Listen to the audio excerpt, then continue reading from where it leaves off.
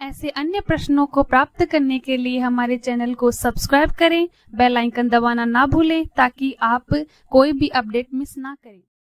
प्रश्न दो पुष्पीय पौधों के नाम लिखिए। उत्तर, मॉस फन।